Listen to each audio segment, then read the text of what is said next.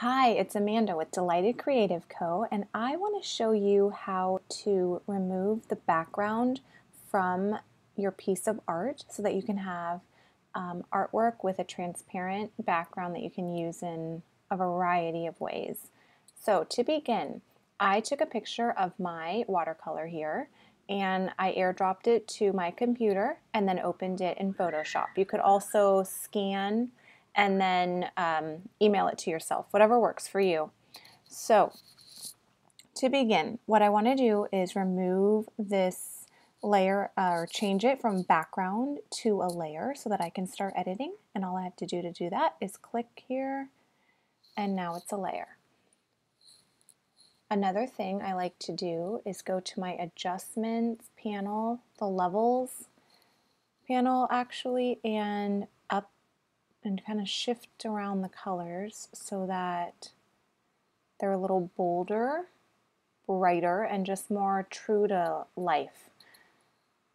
With this eyedropper tool, I can click on a light area of the page and it just brightens everything. And okay. So now we can get to work. So in terms of getting rid of the background, I like the magic wand tool. I'm going to set the tolerance for this piece at 6 and make sure it's on contiguous. And then also that I have this icon selected, which means that as I'm going through my piece, the magic wand will just keep adding to the selection versus like starting a new one or re uh, removing from it. So I'm going to zoom in a little so we can see what we're doing and then just go through and select all of the white space.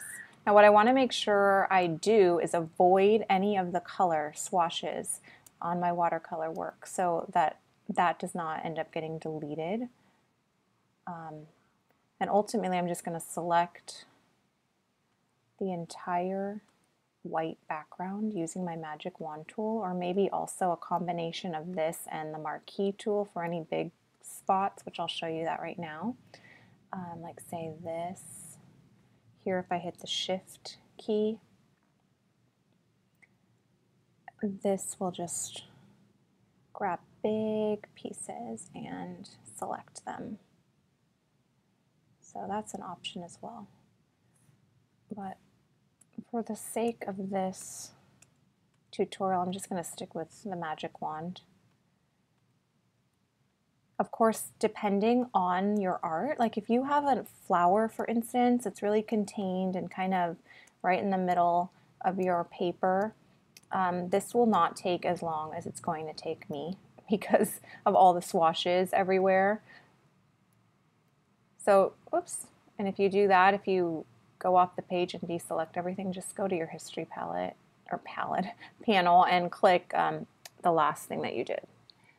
So here it is, back to where I was. I'm just going to go ahead and click around and select all of the background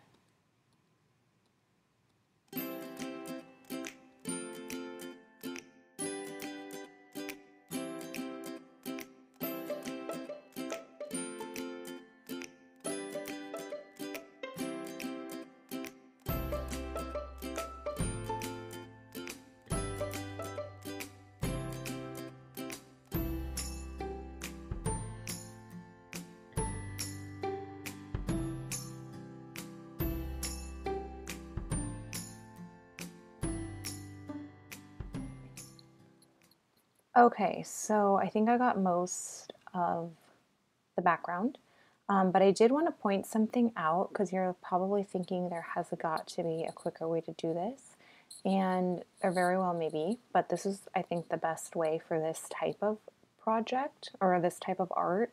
Um, if you have something, like I said, that's a little bit more defined in terms of the shape, you can always um, select an area and then go up to select similar. I'm not going to do it right now because um, the variation of color is like from very light to dark um, in this piece that it's very likely it's going to take out some of the color that I don't want it to take.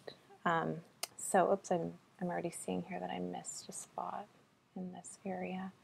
Um, but I think I'm pretty good, so I'm going to hit delete. And it looks like I got most of my white. There's another little section. And I guess I could have gotten that too here. So once you hit delete, you can kind of see a little bit better what you might have missed. The white stands out.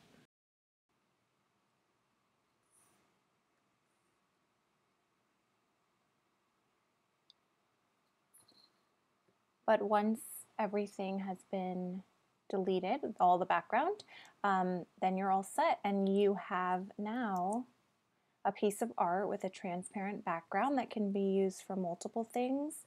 Um, I'll show you next week in the next tutorial how you can use this, for instance, over um, an image, over a color block, or even um, just scaling it to different sizes that you can make out of like make a note card or a printable or something like that.